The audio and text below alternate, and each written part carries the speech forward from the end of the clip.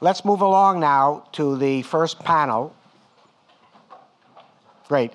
Uh, and uh, it's my pleasure to introduce the moderator and will the uh, participants, uh, Chuck Himmelberg, uh, Dick Berner, and uh, Dave McNellis, please take your places up front.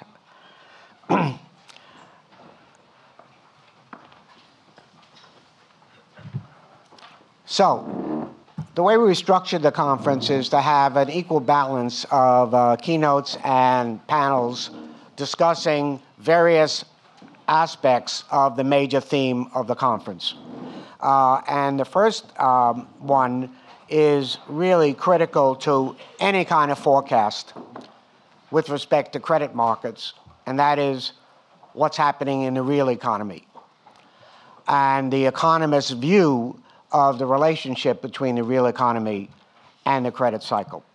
So, with that, I'll introduce Kim Schoenholtz, who is uh, the moderator of this session, and uh, Kim is the Henry Kaufman Professor of History of Financial Institutions and Markets here at the Stern School, and he also directs the Stern Center for Global Economy and Business uh, Economics. Now, uh, Kim does an enormous amount of work here in organizing sessions very relevant to re- what's going on in the real economy, what's going on in the financial markets, and makes it available to our students and our alumni on a regular basis.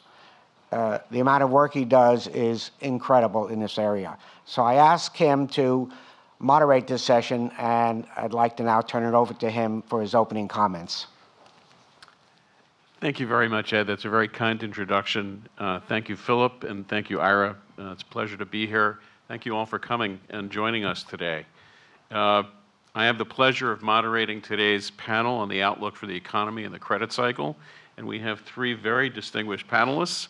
To my left, Dick Berner is my colleague at Stern and the former director of the Office of Financial Research at Treasury. Charlie Himmelberg, to his left, is the chief markets economist and head of global markets research at Goldman Sachs. He's also a former faculty member here in economics.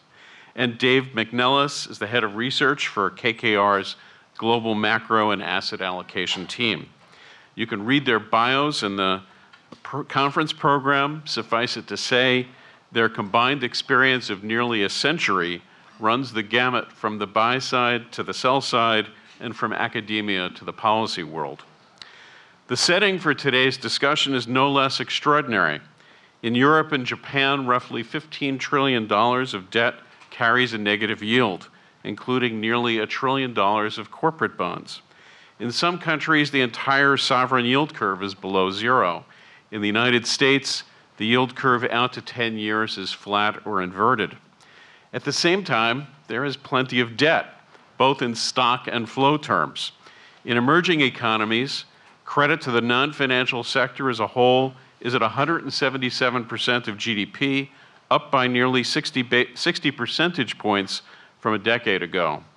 As a share of GDP, credit to U.S. non financial corporations is near record while, according to the CBO, the US federal government is on an unsustainable path of rising debt. And there are numerous headline risks, ranging from geopolitical concerns, trade conflict, and threats to central bank independence, to doubts whether central banks have the wherewithal to achieve price stability amid recession worries. With all this in mind, let me now ask our panelists in alphabetic order to make introductory remarks of up to five minutes each. After a brief discussion among the panelists, we'll then open the floor to questions from you in the audience. Dick? Thanks, Kim. And I want to echo Kim's uh, welcome to all of you and thanks to the organizers, uh, KBRA and others for supporting uh, this conference. Uh, Darrell's uh, comments uh, enable me to be pretty brief about mine because he's laid out a lot of the fundamentals that we think about uh, in credit markets, particularly with regard to uh, to leverage lending. But let me just step back uh, a little bit, um, and maybe I should just say, look, as Ed pointed out, the current business and credit cycles have lasted a long time, more than a decade, both. We all know the reasons, or we think we know some of the reasons for, uh, for that longevity. But I think I want to try to answer today two questions. One is uh, something Darrell referred to, which is could this credit cycle uh, trigger a financial crisis or a recession? Um, and second, how will this credit cycle differ from those uh, in the past? And just to anticipate uh, the discussion, um, like Darrell, I think that there certainly are risks, but sig the significant increase in non-financial corporate leverage that we've seen is unlikely by itself to trigger a recession, much less a financial crisis. However, it does create vulnerabilities uh, and shocks uh, we all know can uh, result uh, in unintended consequences. Um, and uh, second, to anticipate again, uh, I think that the credit cycle dynamics in this uh, credit cycle are likely to be more intense uh, and likely to make any downturn in the economy uh, deeper and longer. So let's look at some of the reasons for that.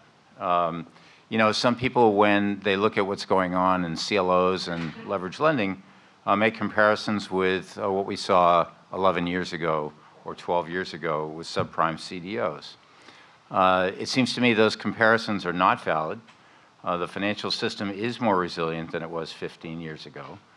Uh, put differently, then we had both non-financial and financial leverage combined, uh, and of course non-financial leverage primarily through households, that reached uh, extremes. And as Darrell pointed out, financial leverage is down considerably, at least in our banking system. And I'll comment on that uh, as well. So um, I think that the system is safer.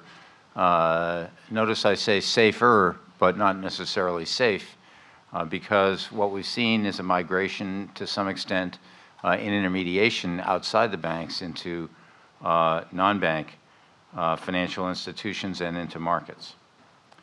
Um, I think that when we think about the credit cycle itself, we think about the interplay with macro factors that's really critical, and it expresses through, uh, you know, concerns about, uh, or the lack thereof, about credit quality and its impact on the willingness to lend.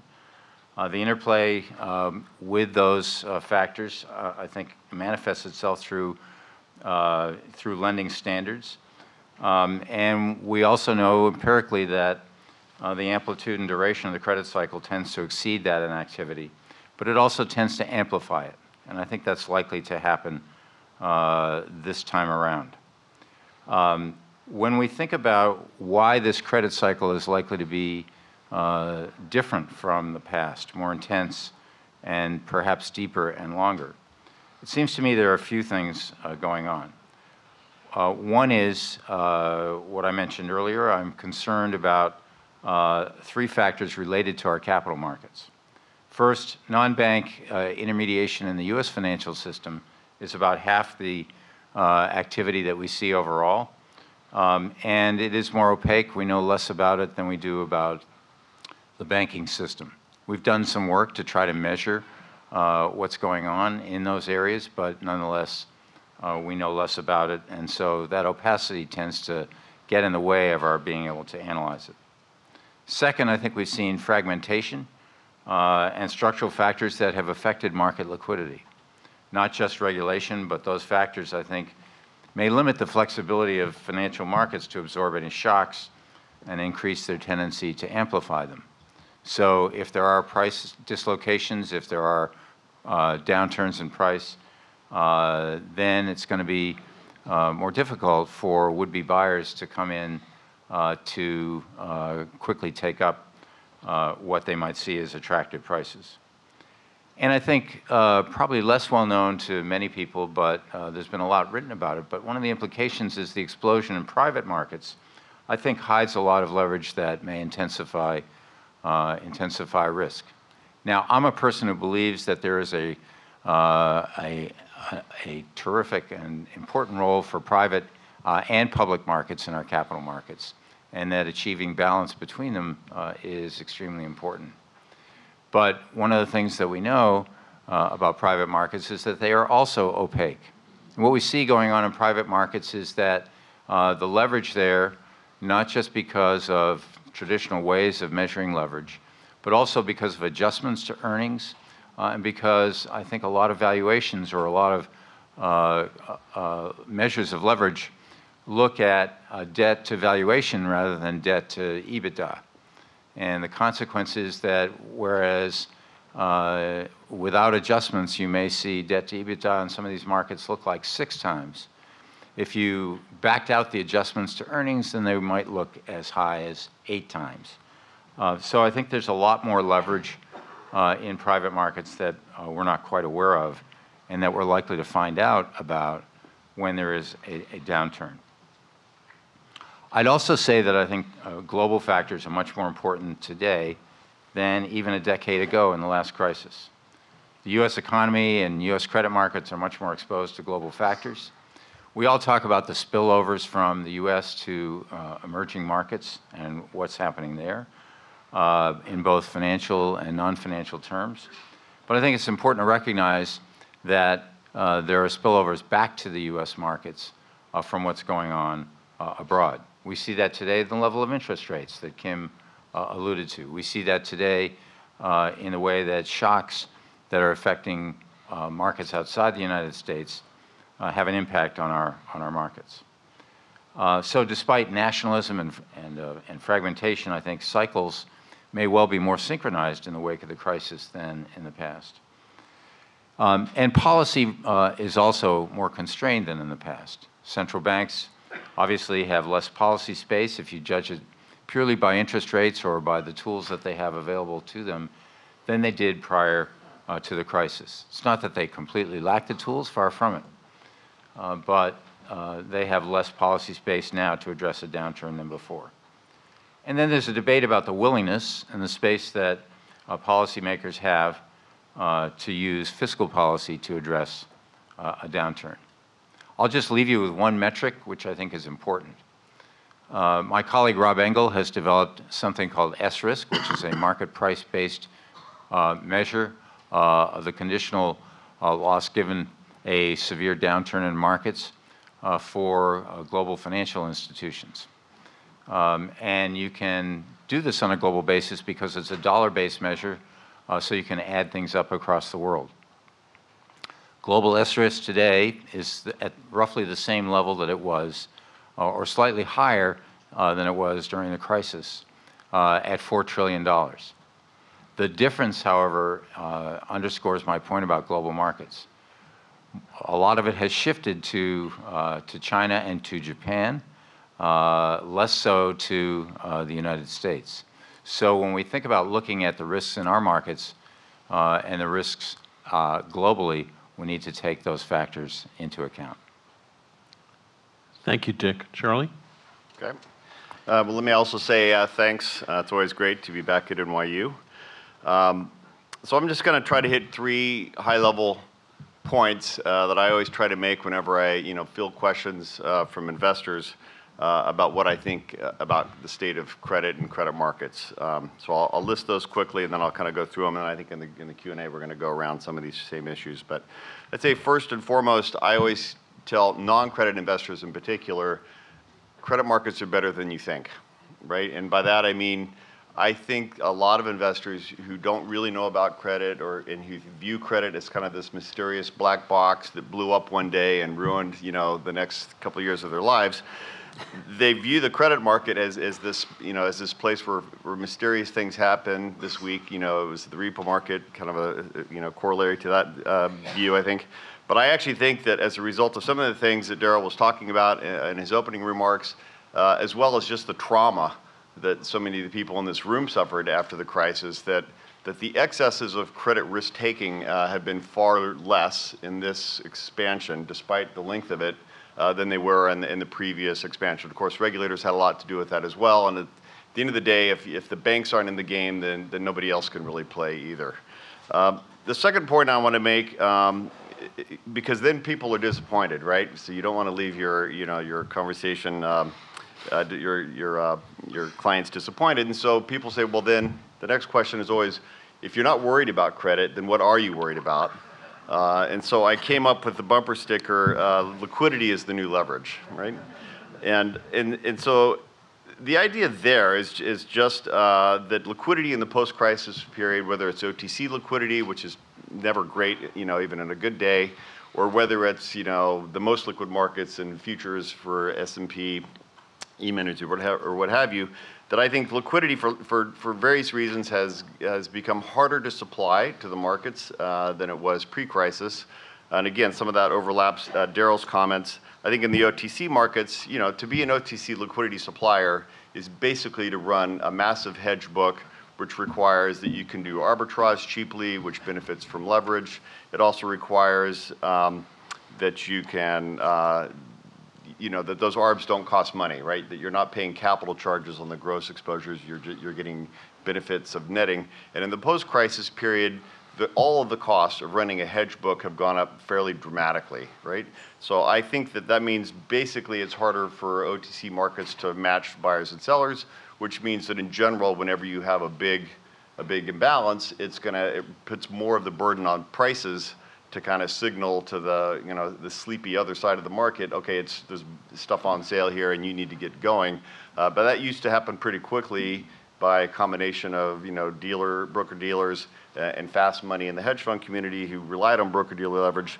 Uh, in the new environment, you know, that happens very sluggishly. It's an agency market, you know, not a principled market. So that to be my second theme, and we can dig into that if, if people, if that's interesting to people. I think the other piece of the liquidity uh, concern that I have is that in the most liquid markets, where you kind of most take liquidity for granted, there's also been a sea change in the way that liquidity is supplied, right? In the sense that that's moved dramatically away from from from dealer intermediation and and, and continued the trend uh, more sharply toward having high frequency, you know, electronic uh, supply of, of liquidity. Uh, and I think in normal times, that's been a big improvement. I think that machines are much less, you know, they're emotion free, and I think in general they do a much better job of supplying liquidity. And just to be clear, machines are the future, uh, and I think, you know, that trend is here to stay. And the question is just how good can machines get at, at that job? But I think, you know, in this interim period where we're still kind of figuring out how to, how to design a machine to supply liquidity, it works great in normal times, but in, in periods of crisis and big declines, there's evidence that suggests that machines are not as good as people. And the reason is because machines can't handle ambiguity, whereas people can. So, you know, what the evidence suggests uh, is that in periods of, you know, these uh, flash crashes and other periods when there's kind of big ambiguous uh, information in the market, I think, you know, everybody pulls back, right? Humans and machines both pull liquidity away from the, from the markets in times like that. But the machines pull away more because they can't process the information that's in the headlines, right? And, and someday machines will be better at this than they are currently. But you know, if you talk to any uh, high-frequency uh, trading, so you know, manager, they'll say, "Well, in the old days, we just had a switch and we would just turn it off when we started to lose money and we saw a headline." He goes, "These days, we're, we're getting smarter, and we see that some of the, a lot of those days are actually days we can make a lot of money. But it's still the case that." a trader whose job it was basically to process fundamental information about the shocks that are hitting the market on a regular basis is normally going to be better informed, better equipped to handle a weird headline uh, than a machine that's just seeing, you know, the flow, just seeing uh, the flow. So I actually think that uh, we're seeing more of these flash crashes, and we're seeing in the in the most liquid markets, not the credit markets, but the most liquid markets, uh, are where these flash crashes have kind of started to pop up in the post-crisis period. I think it's basically because we have uninformed, you know, uh, again, agency-driven uh, types of liquidity suppliers uh, dominating these markets today. And then the final uh, comment I would make is that I'm a I'm in the camp that think that low rates are here to stay, uh, and that it's not the Fed's fault. that the low rate environment, which has driven so many of the concerns that you know the credit investors have about the search for yield and where that goes, but also, you know, I had, a, I had dinner last night with a CIO of a, of a big insurance company, and this was the entire conversation over dinner. Was, you know, they're, they're desperate for yield, uh, as, many, as I'm sure many of you in this room are, and trying to figure out what's the best way to, you know, to, to satisfy their liabilities without doing stupid stuff. Uh, KKR is well positioned, I think, uh, to benefit from some of that. That was kind of one of the punchlines we came away with. Private, going privates and going less liquid for certain types of investors will be the answer, I think. Um, but I think, you know, more fundamentally, to understand wh- why we're in this low rate environment and, and why the yield curve, for example, is currently inverted, my own view is that you have to look, again, to global factors and not US factors. I think it's a very disorienting period, but my view is that, you know, the global capital markets are just one big, you know, one big pond and water finds its level. Uh, and, and I think a little known fact that I like to tickle people with is that if you compute three-month real rates for the US and for the rest of the developed markets, and then you calculate an average of the of developed market real rates excluding the US, and then just plot those two lines over the last 30 years and plot the gap, call that the real yield gap between the US and the rest of the world, that gap today is at a 30-year high. 30-year high, right? So in the, in the, you know, in the big debate, you know, between the Fed and Trump, let's say, uh, or among clients that I talk to about whether, you know, rates are too high or too low, uh, or what is R star is another way to frame that conversation. I always think to myself, well, isn't R star kind of the, the real rate that things are supposed to settle out to once, you know, global capital flows have had a chance to arb away all the relative opportunities? Uh, and shouldn't we be looking to global signals uh, pretty, pretty aggressively to get some sense of where the global supply and demand for capital is settling out? And the answer is globally, it's settling out at minus two, minus two real. And so, you know, US, you know, in the US, we were headed for plus one real, and now we're back to call it zero-ish, but we're still high relative to the rest of the world. So we're still in a situation where the, the US, which has historically been a borrow currency like the yen, is actually a carry currency, which is a, you know, which is a weird place to be uh, if you think that we're the, you know, the safest uh, supplier of global capital. So my own view is that rates are going lower, not higher, uh, and that's, that's not a comment on whether it's appropriate to the U.S. business cycle or not. It's a comment on where I think R star sits. And also, so that, that has implications obviously for how credit investors should be thinking about yield going forward, but we'll table that. And I'll pass the baton. Thank you, Charlie. Dave? Okay, well, thanks, Charlie, for stealing my thunder. Um, I was trying to give you a pass. uh, in all seriousness, though, uh, Kim, thank you for the introduction. Thank you to Kroll and NYU for the invitation to speak. It's an honor to bat cleanup for this lineup here. Um, what I plan to drive towards in about a minute is our forward-looking investment orientation at KKR. Uh, but to establish that, I think it actually helps to look backwards for a couple of minutes as well. Uh, so I started at, at KKR back in 2011 with my team. I think that was partially the result of some lessons learned at the firm coming out of the financial crisis. Uh, and so one of the first tasks that we had when we arrived was to advise the firm on, on the cycle and, and its potential duration. And what we advised them at the time was that things really looked quite robust, um, but that what we would be wise to do, we thought, would be to plan for a mild recession at some point late this decade, um, potentially around nowish. Um, and let me give you a sense of the factors that we were focused on when we when we came up with that advice. It would be first of all, we thought it would be around now that you'd get to um, labor markets that had absorbed most of their slack. Um, similarly, within manufacturing, we thought it would be around now that you would have had the Fed remove a lot of the accommodation that was in place. Um, and we also thought we, we saw some fracturing of, of global trade and the consensus around expanding exports as a percentage of GDP as a driver of prosperity. And we're concerned that that could be a catalyst for the next cycle. Um, so here we are today, and I'd say actually a lot of these things have, have played out. Um, there's been no recession thus far. Um, and most, maybe the most interesting piece of the puzzle, though, is that in a lot of parts of markets, you've, you've actually been paid to position as though that recession is, is imminent. Um, you don't see that in leveraged lending, you know, in a lot of pockets, and we've discussed that. But we could focus as well as, you know, you've certainly been paid to be dovish on, on interest rates. Uh, you've been paid to favor growth over value uh, within both credit and equity markets. Uh, you've been paid to be quite skeptical and cautious on commodities. And you've been paid to um, demand a really healthy risk premium for taking risk in emerging markets. Um, so these, these were all quite cautious elements of positioning that have, have been rewarded. Um, so how, how do I think that this came to pass? I'd, I'd highlight a couple of things. Um, first of all, I think that we've had a, a series of, of, rolling mini recessions already this cycle, whether it was 2011-12 in Europe, um, 15 and 16 with the, with the oil crisis, um, and here we are in 18 and 19 now with, with US-China trade really putting a damper on things. Uh, and what I think that that's done is within the real economy, it served to keep things from getting too extended. Um, so I would highlight things like corporate capital investment, um, housing starts, household formation, um, construction investment. Many of these things, when we look at them, they look more mid-cycle as a percentage of GDP than late cycle. And I think that these rolling mini recessions have a lot to do with that. Um, and then within financial markets, I'd highlight the macro prudential regulation that's come into place. And Professor Duffie's already addressed that more eloquently than, than I could. But in, in addition to sort of the bank specific regulation, I'd also highlight the tightening down of mortgage lending standards, which is really um, had a, major impact on, on big parts of capital markets, housing in particular. So, what that's done in financial markets, I think, is to keep a lot of areas from getting too overextended. Now, of course, there are pockets of of excess exuberance, and I imagine we'll get to those before too long.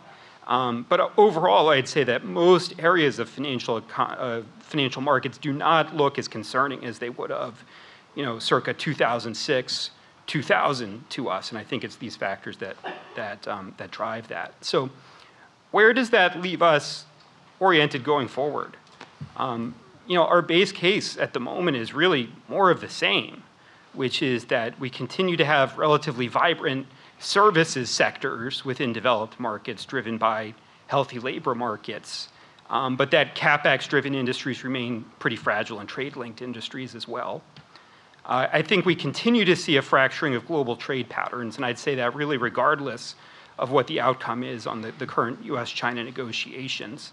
Um, I'd say, I'd highlight briefly that that adds a tailwind to an important theme for us at KKR, which is deconglomeratization as an important area of, of opportunity, just basically that corporate carve-outs um, are going to continue to be an area of focus. Um, getting a little bit more optimistic, I, we feel pretty good about household formation from this point in the cycle.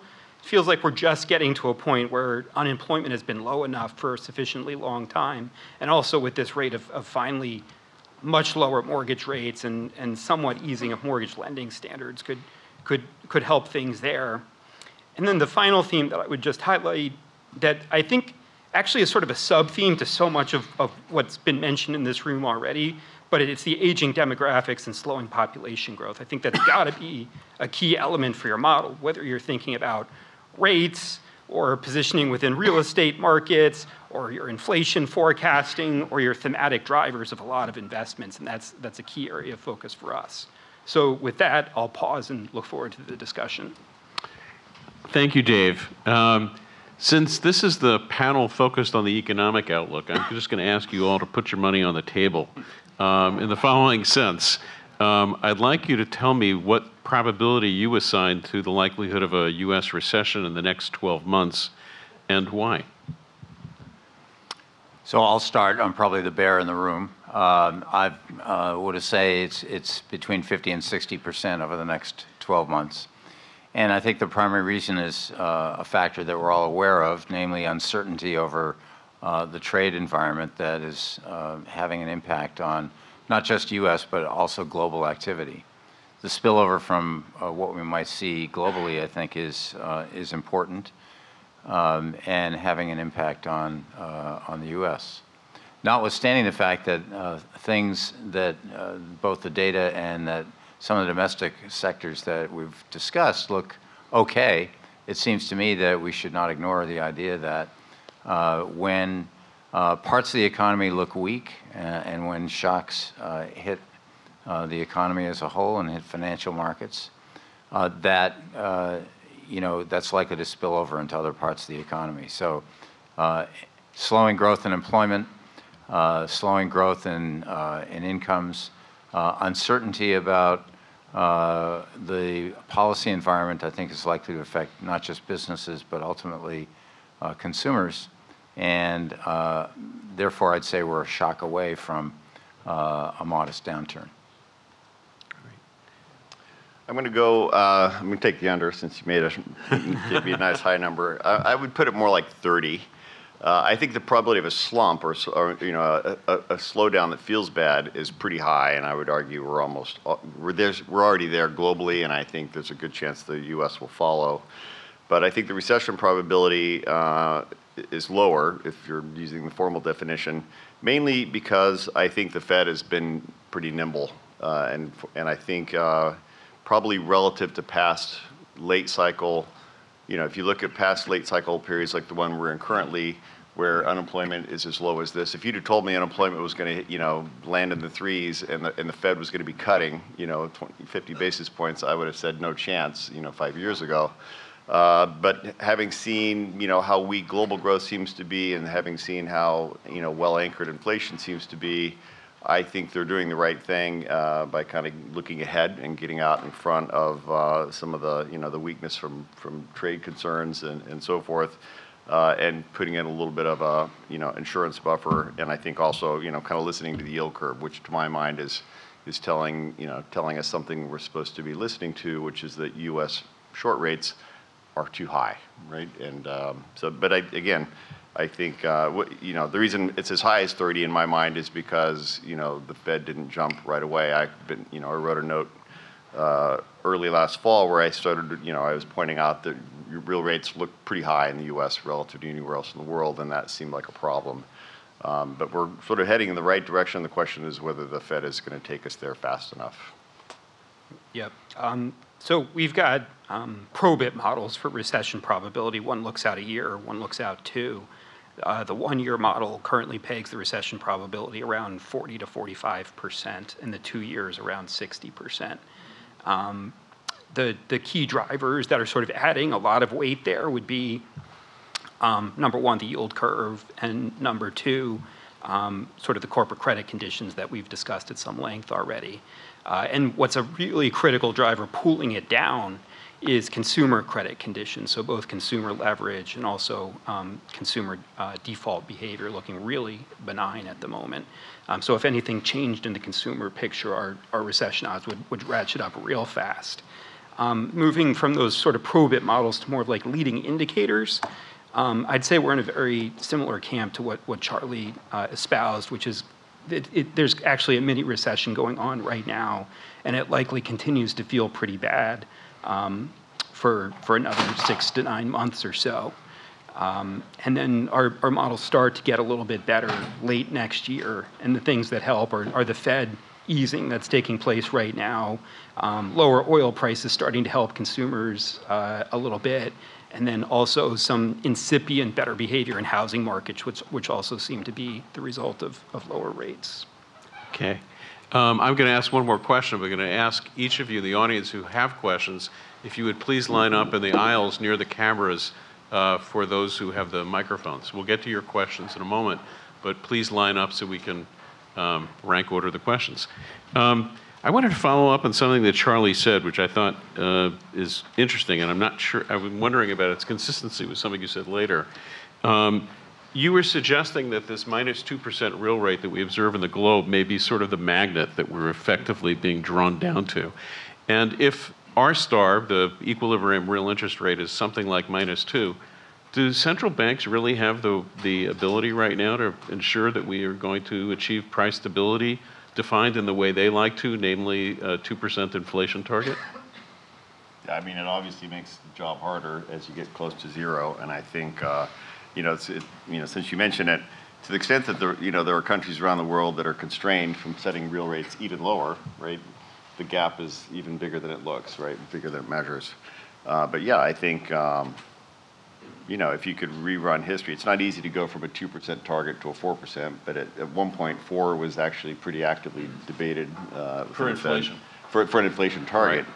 And obviously, the lower you think you're going to be in terms of the, let's say there's some fundamental real rate equilibrium in the global economy, which I think, you know, demographics have a lot to do with, right? And there's a ton of interesting, I mean, I'm sure people in this room are aware of it, but there is just a ton of interesting research happening now that kind of suggests, you know, the biggest problem we're going to have, that our kids' generation is going to have, is going to be demographic decline as opposed to, you know, overpopulation. And I think, um, I think Japan is a preview of that, uh, and all the problems that Japan monetary policy has had is also a preview of where I think you know, on current trends, it looks like the rest of the world is, is going to end up. So, you know, I'm not, that, that's my, kind of my base case, but I, I, there's a lot of risk around it. My conviction's not super high because there's lots of things that could spring us out of this trajectory, not least, you know, productivity breakthroughs and, you know, I have a lot of technology op- optimists in my in my life who tell me, you know, that we're on the verge of a, you know, a big non-singularity and so forth. So,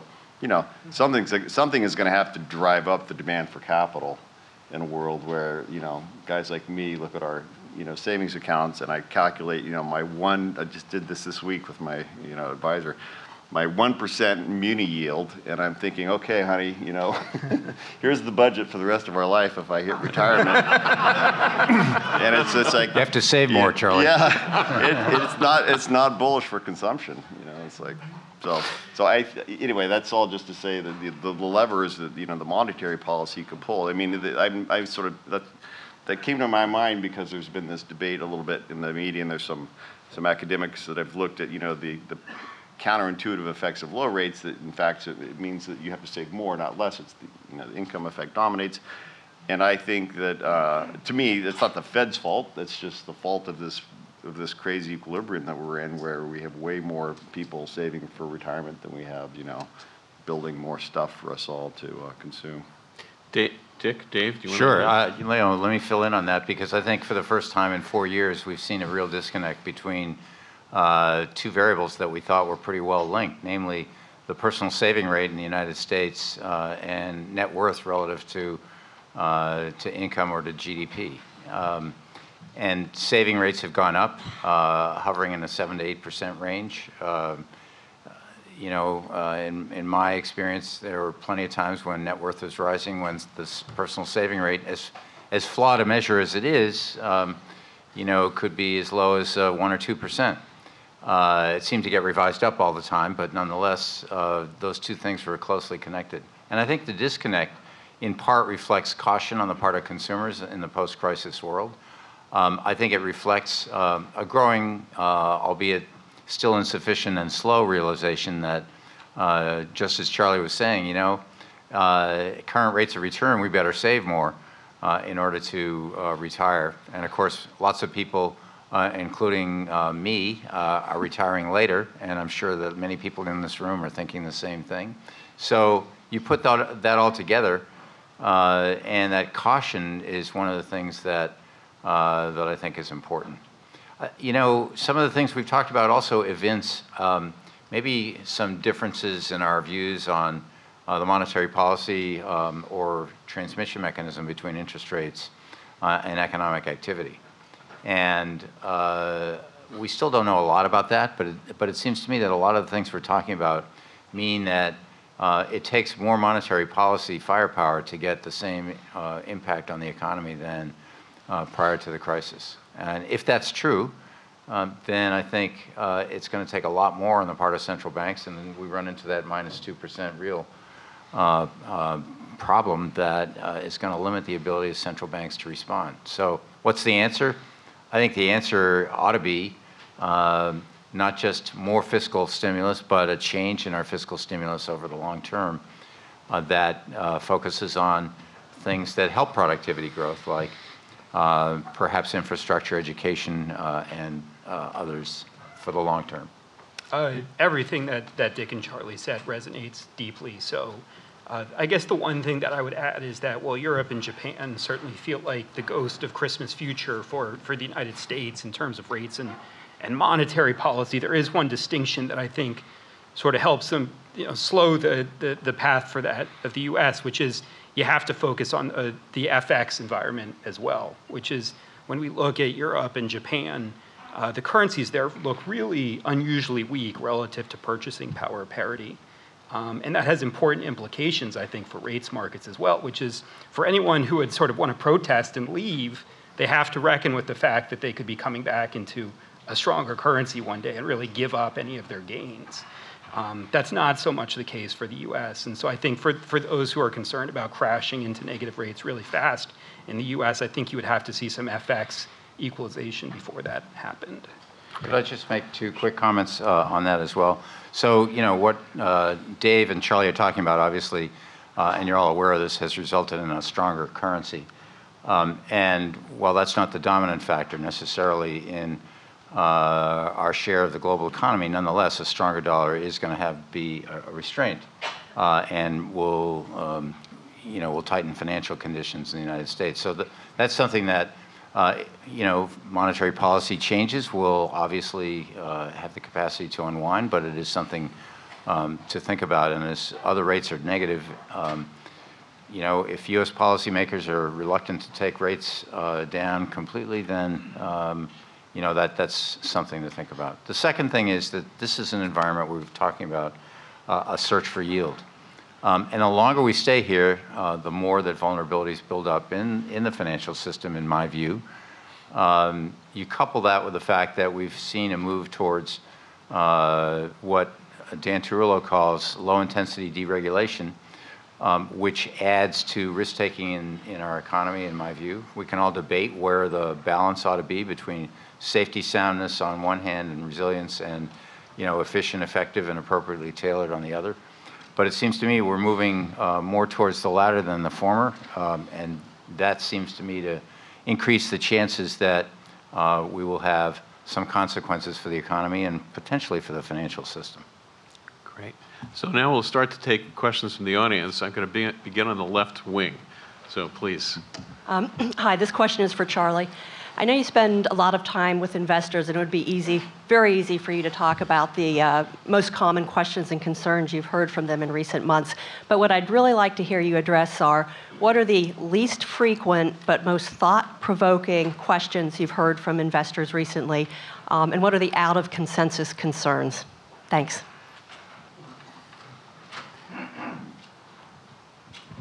I know Donna, and you could have given me a little heads up on that one if you.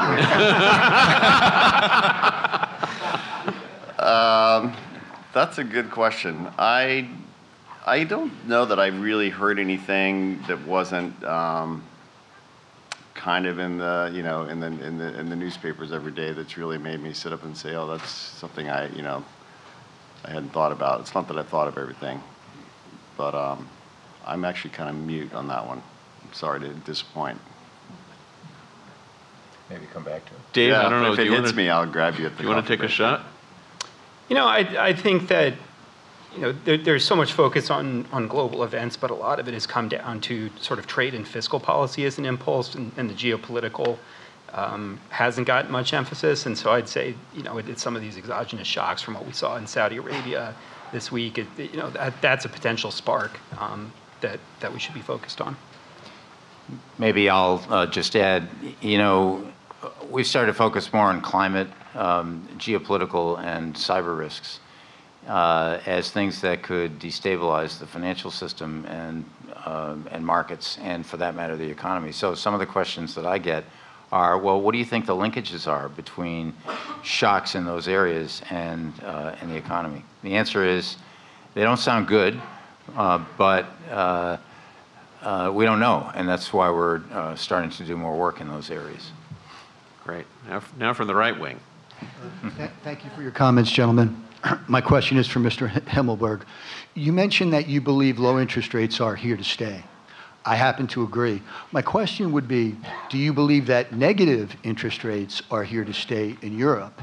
And if so, what are the implications for European financial institutions operating long-term in an environment of negative interest rates? Thank you. Yeah, I mean, I think, uh, I mean, that's obviously at, at the very front end of the curve, a policy decision, and I guess my, my sense, especially given the tiering in the last round of, uh, you know, policy, uh, policy decisions, is that they're trying to be sensitive to the plight of financial intermediaries, and especially in a bank-dominated economy like Europe, you can't, you can't tax the banks, so to speak, uh, and not, you know, suffer the consequences. So I have a general view that, you know, that uh, essentially what monetary policy needs to do is find ways to kind of subsidize banks. And, you know, if you think of banks as maturity transformation, you know, engines in the economy, then basically you need to find ways to supply cheaper funding and make sure that there's still a little bit of a NIM and credit pickup on their on their asset side of the balance sheet, so that credit creation doesn't just stop, um, or at least it you know is there to meet whatever demand shows up. I think um, So, you know, so obviously in the case of negative rates, the question is whether, you know, whether you, question, I mean, there's questions we haven't fully explored. I forget, was it in Switzerland this week that I saw that deposit rates are, they're now, the Swiss bank was now charging for deposits and, you know, we'll find out if that's going to be, you know, a sustainable equilibrium where depositors are willing to accept, you know, minus a half or minus 1 returns on deposits just to have, you know, a safe, you know, nest egg.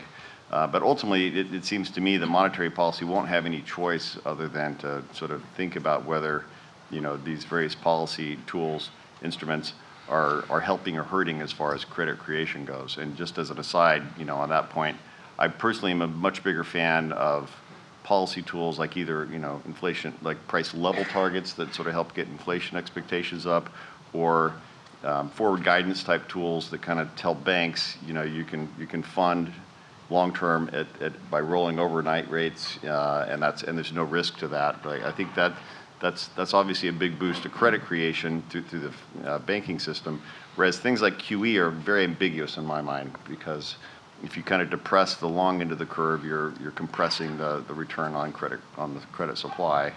And it seems that, you know, I'm not saying that that wasn't useful during the crisis. I think it was as a signaling device, but I think when you're thinking on a sustained basis about how does the, how does the credit continue to flow to the real economy, I think you have to make sure that, you know, people can still make money, you know, supplying it. So great. Um, Back to the left. Uh, Thanks for the chance to ask, ask this question. So um, this question is really for anyone that would like to uh, take a swing at it. Um, I think we can all agree that we've been seeing some unprecedented political influence from the White House on the Fed and the direction of interest rates and the speed of move. So in analyzing portfolio allocation, I always like to play this what if game.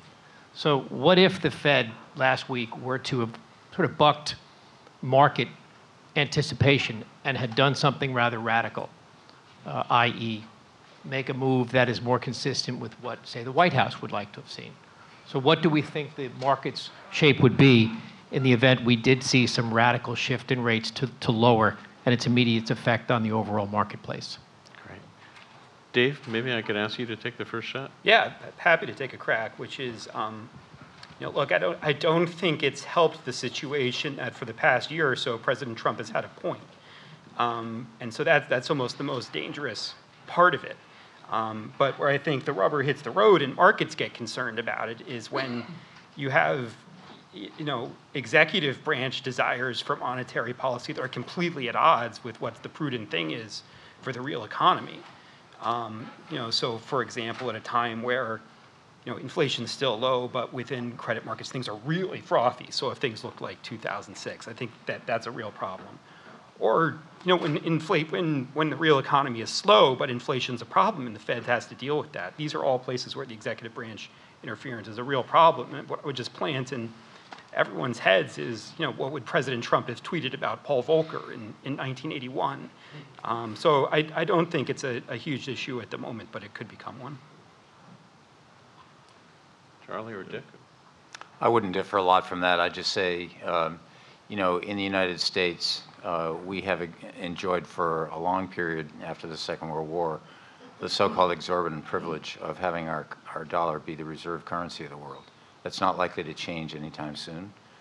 Uh, but give it time uh, and uh, couple it with uh, a number of changes in the political environment, um, you could see people start to question whether or not that's the case and whether or not investors want to reallocate uh, to other parts of the world uh, if they judge them to be safer. Great. Um, Right side.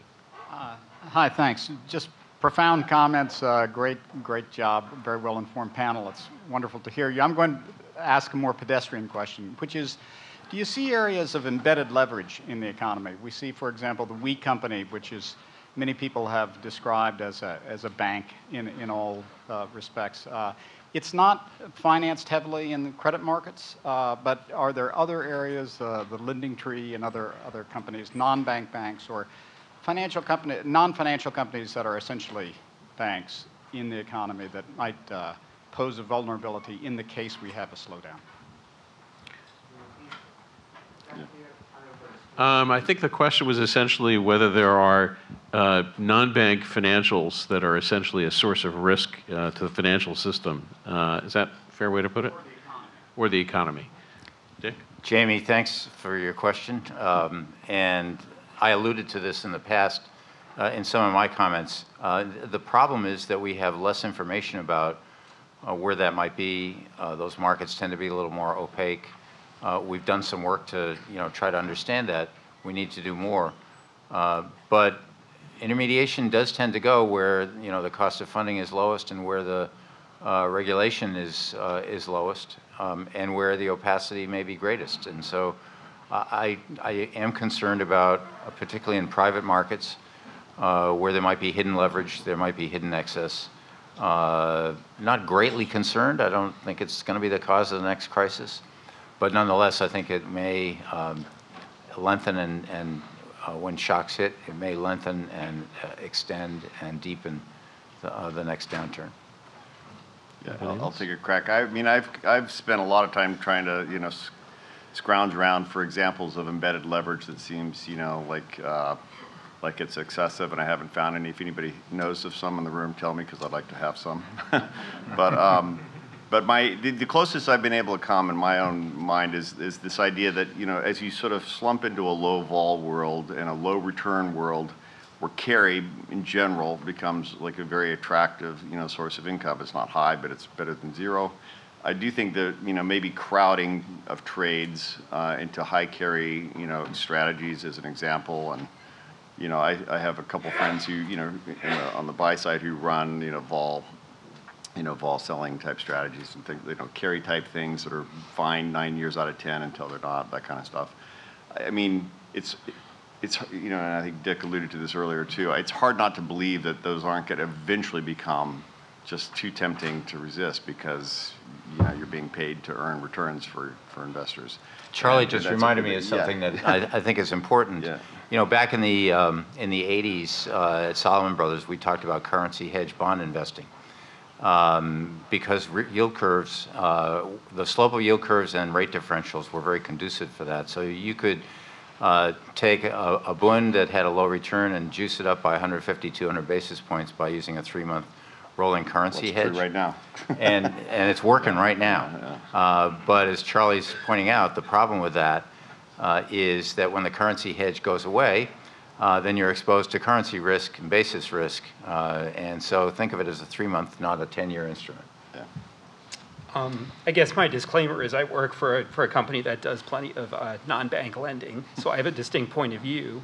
Um, what I what I think should make folks feel better is first of all that a lot of the companies that are doing this, ourselves included, the capital is pretty expensive, um, so it doesn't lend the, itself to the sort of excesses that, that you see with some of these trades that Dick and Charlie have mentioned. It's it's not a picking up nickels in front of a steamroller kind of business. Um, so I think that's been salutary. Uh, that, that said, I, I certainly think it, it would be healthy to, to have more, more data on the industry. It'd be welcome, you know, even by participants. Um, and I also think that it, it, it does make sense to shine, a, to shine a spotlight on some of these accounting adjustments to EBITDA. We see a little bit more of that, and I, I don't think that's particularly healthy. Great. Ethan? Yeah, um, question on the Phillips curve. So we've seen basically a declaration that the Phillips curve no longer is really relevant in monetary policy. If that's, if you agree to that, why do you think that the Fed reducing interest rates again or flooding the market with more liquidity will have any impact or help the situation that we're in? Uh, So I, I'll, I'll take a crack. I mean, I don't think the Phillips curve is dead. Um, as much as I just think inflation expectations have become, you know, supremely well anchored and for lots of good reasons. Um, and it's the first time, really, if you think about it, that you know, in history, that we've been in this situation, right? They spent, we spent, you know, up, uh, you know, inflation. Inflation targets by central banks are a modern development. We take them for granted like they've been around forever, but they, they, they were not a thing when I was teaching macro here at NYU in the early 90s, right? That, that, that it, you know, it came about in the late 90s that it kind of became semi-institutionalized. And then, you know, we spent, we've spent 20 years kind of getting used to this low inflation environment, we, but in particular, we've got used to this idea that the, that the inflation rate is going to settle in at 2% because that's what the, you know, central bank wants. So I, my guess is that the reason inflation relationships to the real economy have broken down is because those expectations have really dominant, come to dominate uh, behavior. Um, and then I think, that, yeah, I'll just leave it at that. Great. Actually, we have time for Professor Figlewski. In all these discussions, uh, as, as we see them in the newspaper and in the, these types of forums, um, there are a couple of kind of statistics or measures that, that everybody uses that I personally find kind of ambiguous, and I'd be really interested to hear what you guys think about this. One of them is the idea of an inverted yield curve. Now, I can certainly think of situations uh, where uh, an inverted yield curve would be a precursor of a recession, but I've been in the futures area for a long time, and I've seen all kinds of discussions of technical trading patterns and so forth that are supposed to be very meaningful. Is the inverted yield curve anything more than a head and shoulders pattern? So that's my first question. the second question has to do with how we, our measure of economic discomfort as uh, an NBER recession, two quarters of negative real growth. Um, is that an adequate measure of the kind of economic unpleasantness that uh, we may be facing if we don't have two quarters, if we have, or if we have minus 5% one quarter and plus 1 the next quarter, is that not a, a recession? Uh, I was pleased to hear Charlie uh, Himmelberg's uh, comment that, uh, well, things could happen that really aren't so, not officially recessions, but still are pretty unpleasant. So I'd be really interested to hear what you guys have to say about either or both of those, how we should interpret these things. Um, maybe I'll start quickly. Um, first, on the inverted yield curve, it seems to me that uh, when people look at it, its correlation with recession probabilities. There's no question that that's been the case in the past. To me, it's more symptom than cause.